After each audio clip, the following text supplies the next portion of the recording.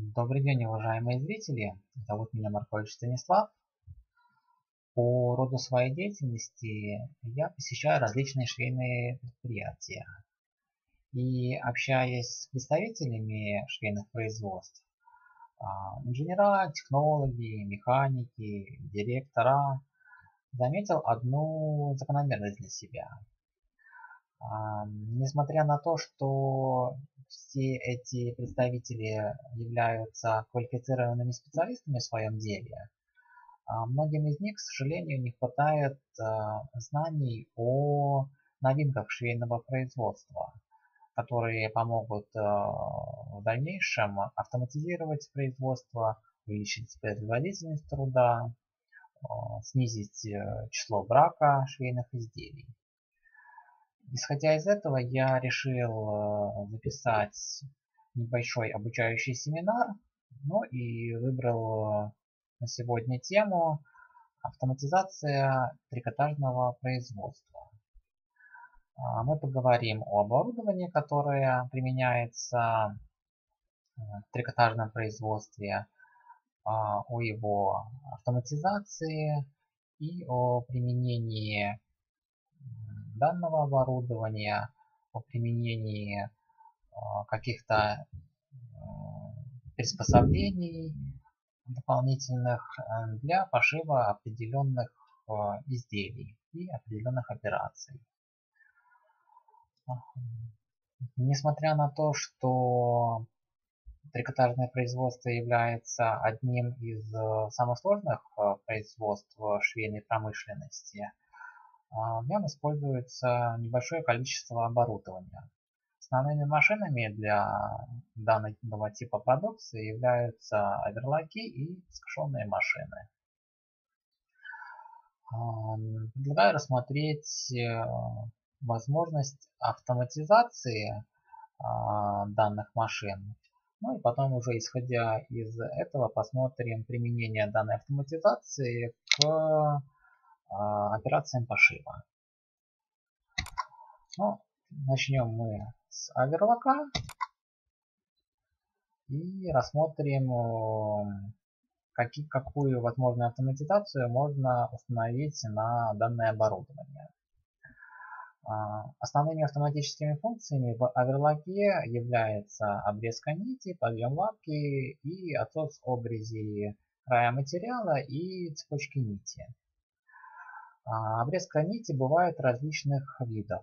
Ну, рассматривать мы будем при помощи э, видеоматериалов. Ну и предлагаю начать данное рассмотрение.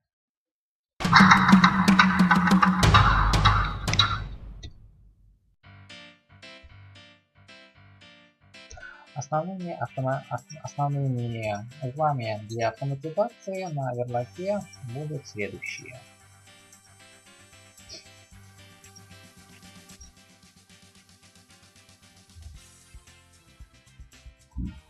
А, датчик края материала.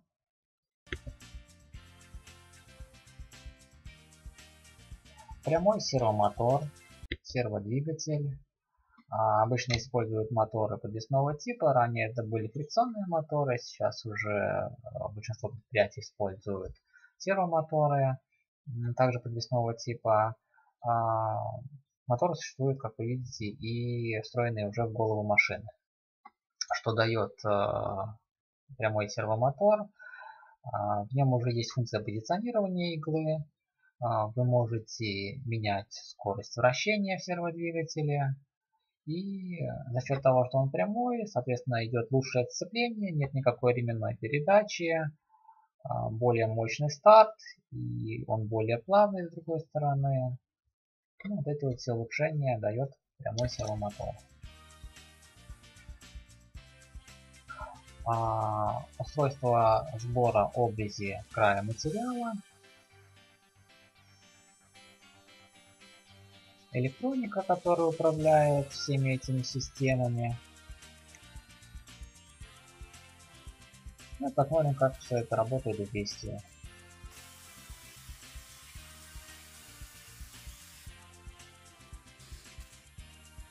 Лапка поднялась автоматически при нажатии на педаль. В основном она имеет пневматический режим, пневматический подъем, пневматический привод. Сейчас вот мы выставили а, позиционирование иглы. А после остановки машины игла будет останавливаться в крайнем нижнем положении.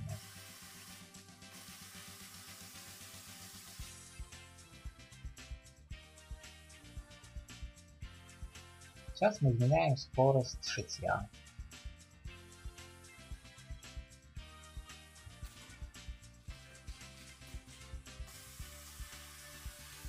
Как видно, скорость шитья увеличилась.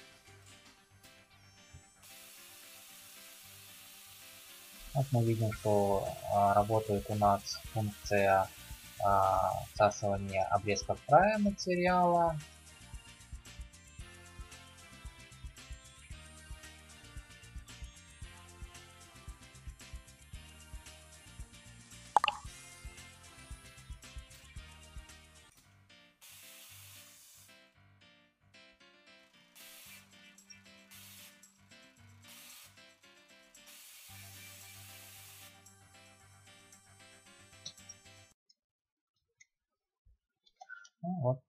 Такие у нас есть функции в оверлоке. Еще раз повторю, это обрезка нити, это подъем лапки и отсос обрезка края материала нити. Существует также а, вот а, то, что мы смотрели в видео, мы рассматривали обрезку на четырехниточном оверлоке.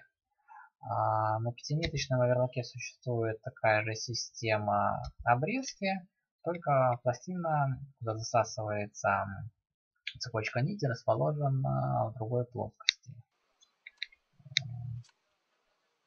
Сейчас зачастую возникают э, вопросы, почему так много различных вариантов обвески нити.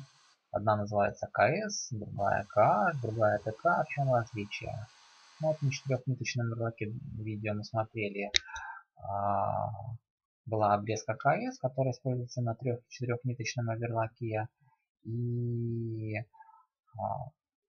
отверстие для отсоса обрези цепочки нити, вот оно, а, оно располагается в вертикальной плоскости. А, сейчас вот мы смотрим видео, где у нас пятиниточный оверлок, и устройство обвески нити называется для таких оверлоков KH. Плоскость всасывания расположена снизу, то есть горизонтальной плоскости.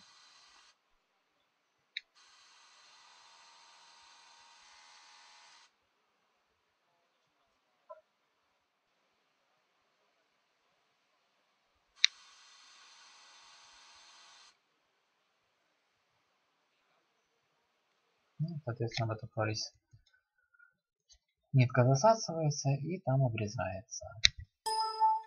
Существует еще один вариант обрезки, он называется ТК. ТК это гильотина типа обрезки нити. Ну, тоже посмотрим презентацию по видео.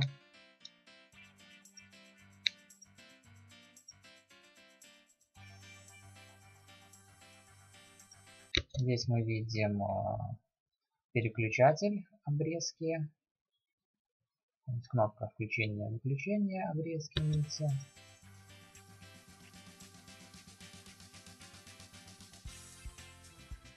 Опять-таки датчик края материала, который показывает, насколько ровно у нас идет материал без заминок. А, панель управления, прямой сервопривод.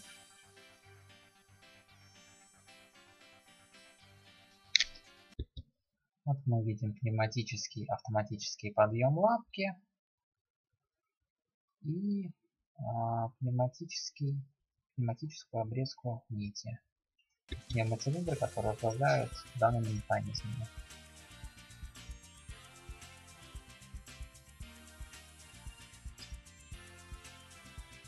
Пневмоцилиндр на обрезку нити. Inventory девайс, устройство сбора обрезков материала. Электроника, блок управления, который контролирует работу всех этих устройств. Посмотрим, как все это работает.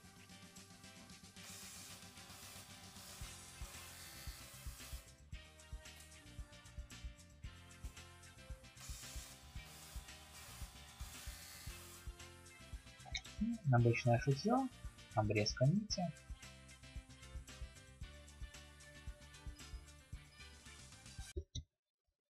Сейчас мы отключаем функцию обрезки нити а, сзади. То есть на первом а, видео было у нас обрезка и в начале, и в конце. Сейчас мы ее в конце отключаем. Соответственно, видите, обрезка происходит от кнопки. Сейчас мы отключаем обрезку в начале конце она останется. Сейчас мы включаем э, сенсор на объем э, прижимной лапки.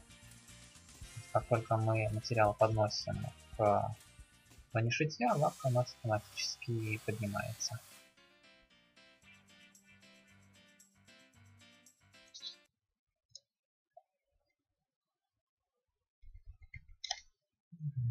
Также из дополнительных э, устройств Петроваку существует устройство датчик перекоса э, материала. Так что зачастую при выращивании края материала нижний материал может загинаться, подгибаться, заминаться. Ну, этот датчик отслеживает э, все вот эти заминания. И если заминание происходит, то машина, соответственно, останавливается. Ну, это дается звуковой сигнал.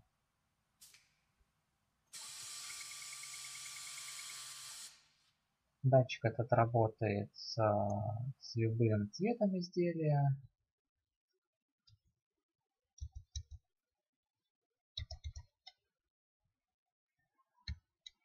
Так. Если мы шьем труднотранспортируемые материалы и наша обычная рейка не справляется с продвижением материала, существует такое дополнительное устройство, как временная подача. Видите, у нас устанавливаются дополнительные ролики, на которых натянут ремень и который помогает нам продвигать тяжелые, трудно транспортируемые материалы. Результате также не происходит никаких загибов, заминаний. Материал идет ровно и гладко.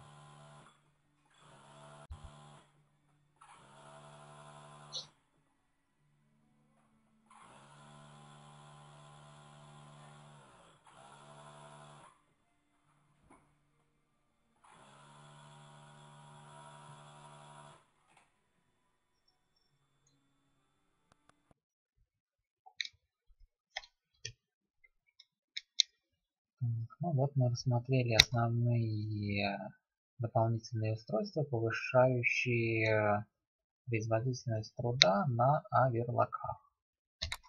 Теперь предлагаю рассмотреть автоматизацию на плоскошовных машинах.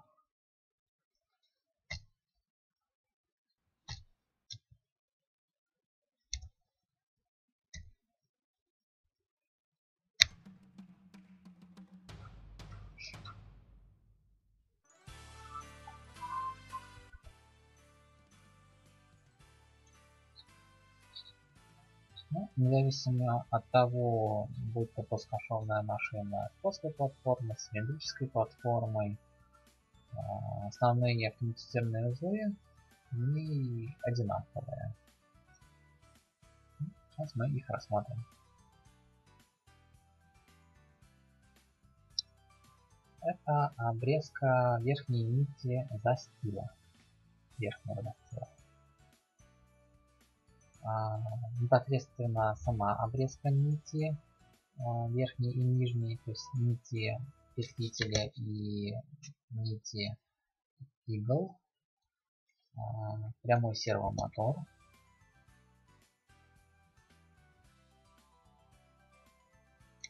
блок управления,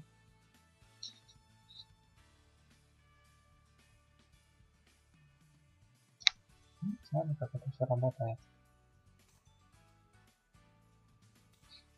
Сейчас у нас будет там демонтироваться обрезка верхней нити застила.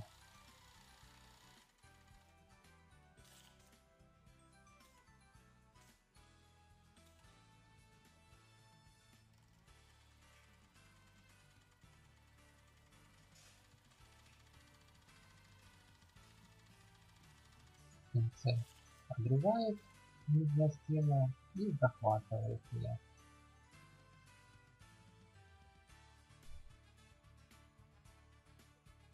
Если мы шьем изделие без верхнего застила, соответственно верхний а, нож убирается, вместо него ставится устройство выбора обрезанных нитей.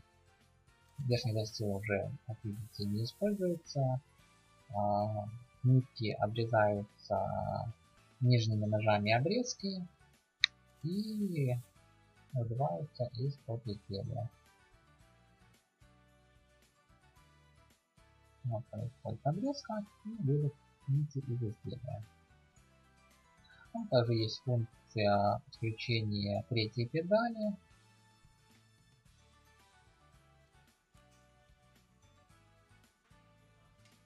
Ну, каждая педаль отвечает за свою функцию. Первая педаль подняла лапку, вторая лапка шьет, третья лапка отвечает за обрезку нити и подъем лапки в шитья. Существует еще одна функция. Ну, Подойную я видел только пока на аверватах Pegasus и на пускашопах Pegasus. Эта функция называется PP Device. Эм, это устройство устанавливается на прижимную лапку. Ну, у нас обычно все прижимной лапки работает за счет пружины, прижимает. А здесь э, данная пружина заменена, заменена на пневматическое устройство, которое э, с определенным усилием на определенных участках э, давит на напряженную лапку, тем самым обеспечивая более устойчивое шитье. Ну, вот мы видим гермоцилиндр, который установлен на. Ну, соответственно, различные утолщения э, прошиваются более стабильно. Они не заминаются и легко проходят. Такое свойство есть и на бескошенных машинах, и на вермаках. Если мы шьем на прямотрачных машинах, то чтобы строчка не распускалась, существует функция закрепки в начале и в конце шва. На бескошенных машинах, к сожалению, такая функция отсутствует. Но есть э, интересное заменение данной функции, это уплотнение стежков. Видите, в начале и в конце наши стежки становятся более плотными. Соответственно, меньше распускаются.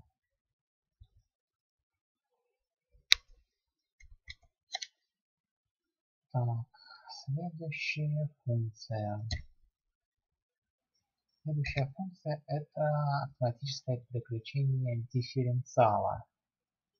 Ну, дифференциал у нас служит для выполнения, например, операции либо сборки, либо растяжения. Ну, надо даже не совсем операции, а для различных материалов. Да? Какой-то из них надо лучше растянуть, какой-то меньше, наоборот, сборочку сделать. Но для этого переключаю дифференциал. Здесь мы данную функцию наблюдаем на операции окантовки косой бейкой края материала. И Вот сейчас увидим, происходит это переключение.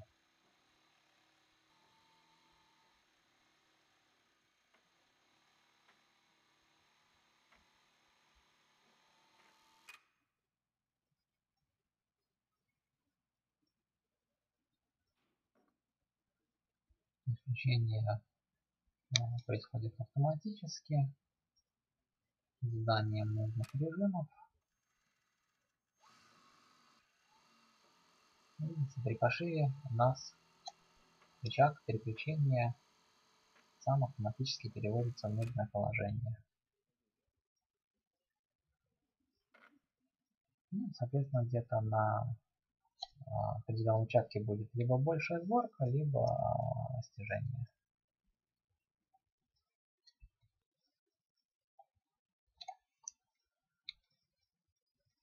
ну вот мы с вами рассмотрели дополнительные устройства для двух типов оборудования. Предлагаю теперь а, рассмотреть виды операции, выполняемые на оборудовании и, соответственно, устройства, которые для этого используются. Значит, а, ну, рассмотрим первый вид операции, который производится на оверлоке. Это операция закрепки. Она бывает ручная бывает автоматическая. Это называют закрепка, называют заделка шва. А, данная операция производится только в начале шитья, и закрепка может быть только в начале строчки. В конце строчки ее не будет. Производится она так.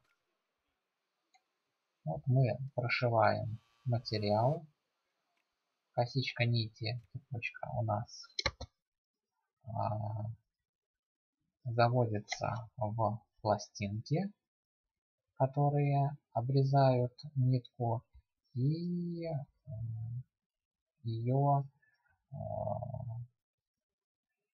оставляют, ну, оставляют в этих пластинках. И дальше при пошиве следующего изделия эта, нитка будет уже зашиваться в начальный, начальный шов.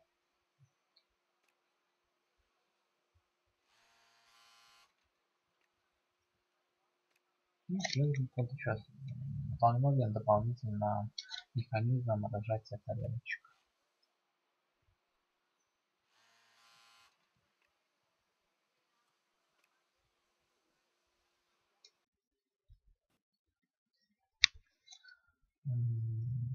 Данная функция также реализована и в автоматическом варианте, где оператору не нужно самому заводить цепочку нити в тарелочке, но все это происходит автоматически. Изделие у нас прошивается, нитка автоматически обрезается и потоком воздуха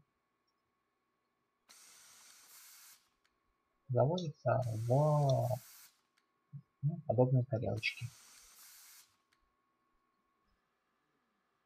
Причем в данной машине уже там, длину а, обрезанной нити можно регулировать. Данная операция часто используется на, при пошиве а, маек, например, на руках.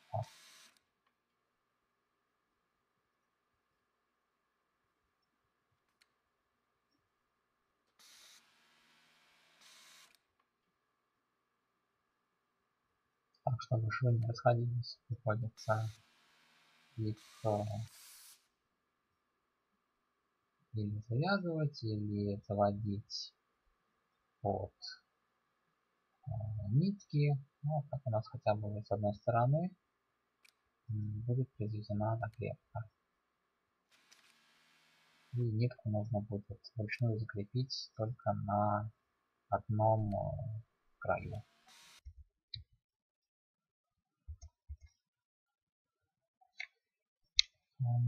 Существует такая операция, как закрутка. Что она собой представляет? Это обычный трехниточный оверлок с узкой шириной обметки. Ширина обметки на данном оверлоке составляет всего полтора миллиметра.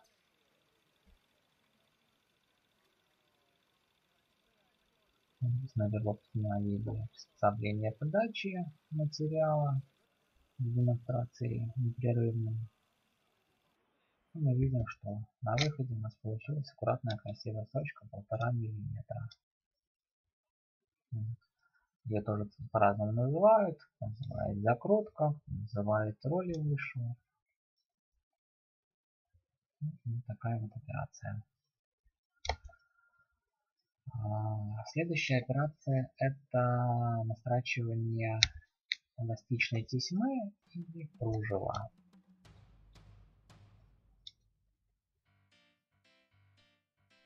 Что входит в комплектацию данной машины?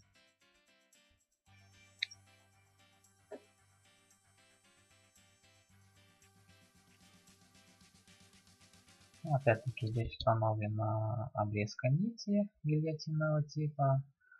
Соответственно, установлен э, свич на включение этой обрезки. На подключение обрезки. Датчик края материала.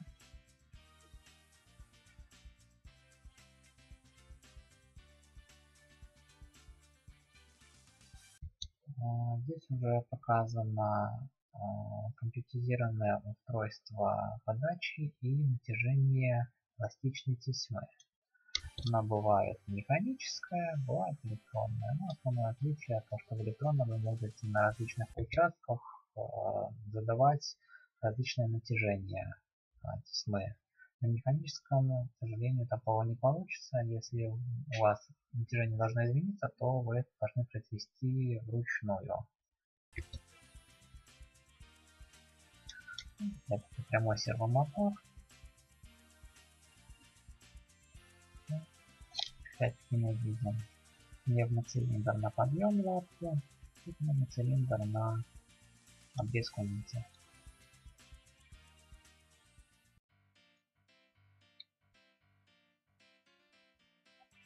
Устройство вызова, ну, электроника, которая следит за всем процессом шитья. Тут мы показываем, что есть функция подачи материала,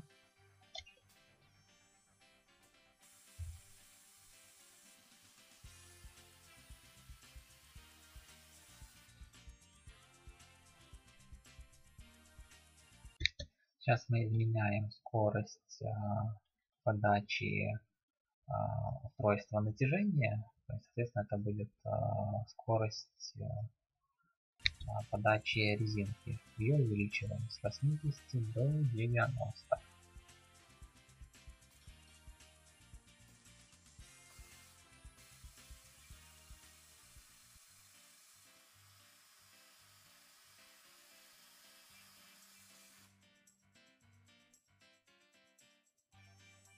Здесь материал немножко был растянулся.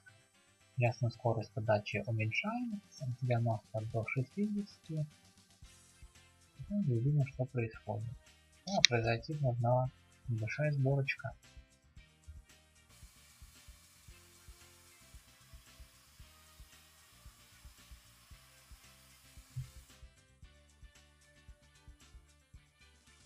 Ну да, вот видим сверху на протяжении снизу флака. Ну, опять-таки демонстрируется включение обрезки а, и нити и эластичной тесьмы в конце.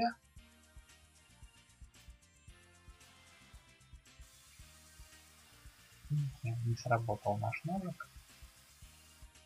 Сработал только в начале. Сейчас отключается начальная обрезка. Может сработал конце. Вначале мы включаем при помощи выключателя. Ну, благодаря этому устройству у вас э, будет постоянное стабильное натяжение на всем участке шитья. Следующее устройство это облюмовка кармана. Ну, это даже, ой, не устройство, а это э, оверлок. Это двухигольный оверлок с двумя нижними нитями. Бывает земля, двухугольный, бывает одноугольный.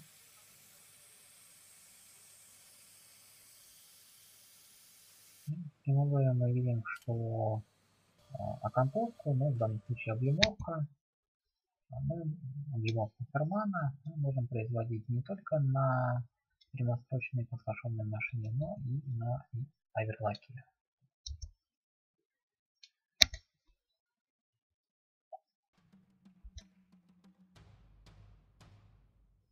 Следующее устройство это подгибка низа материала.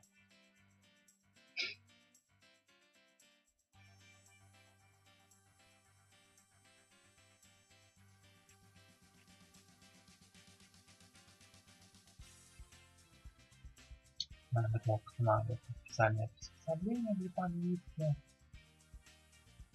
Вот это производилось не вручную, специальным направителем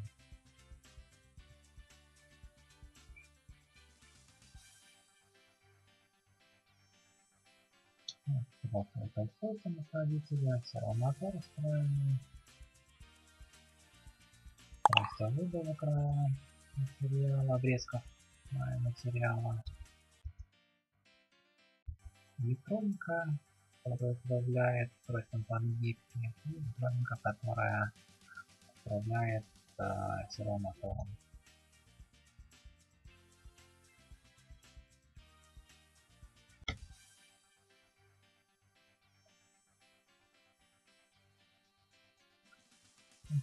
Также существуют различные датчики, сенсоры на крае материала.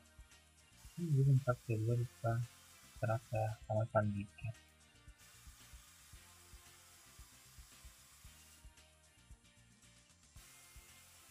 Потому что зачастую подгибку производят на подскошенных машинах, подгибку низа изделий, но сверху мы видим э, от подскошенной машины две либо три строчки.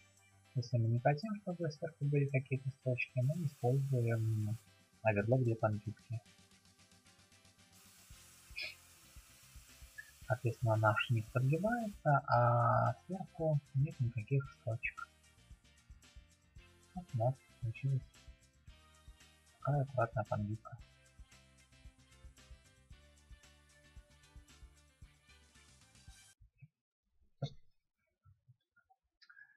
Так. Следующая операция это операция сборки материала. На верлок устанавливается специальная дополнительная лапка, которая разграничивает наших два материала и обеспечивает сборку. Также она переключается. Можно материал подавать равномерно, без всякой сборки. А можно закладывать управляемую сборку.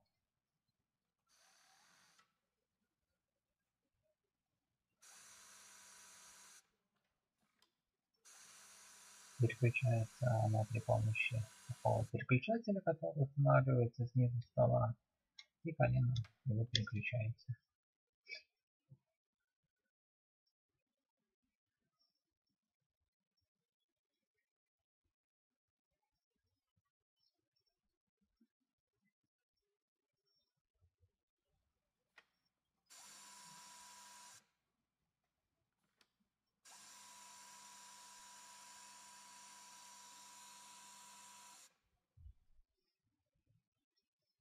Это устройство